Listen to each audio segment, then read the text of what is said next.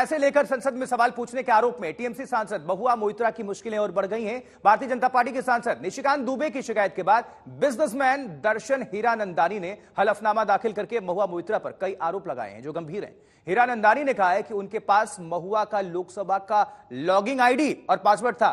इससे वो खुद ही महुआ की तरफ़ से सवाल डाल देते थे।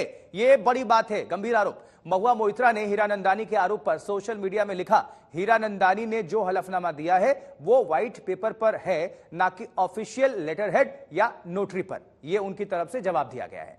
लेकिन महुआ मोइत्रा की मुश्किलें यहाँ से बढ़ती हुई नज़र आ रही हैं। कारोबारी दर्शन हीरानंदानी का यह हलफनामा है, जो आपको दिखा रहे हैं, और ट्विटर पर रिप्लाई है महुआ मोइत्रा की तरफ़ से।